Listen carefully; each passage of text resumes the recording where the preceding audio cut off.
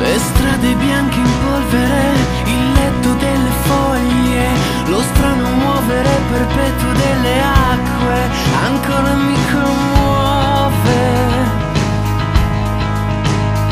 Come sempre, il verde sulle maniche, le scarpe sporche, le spighe che rimangono incollate come pelle sulle gambe.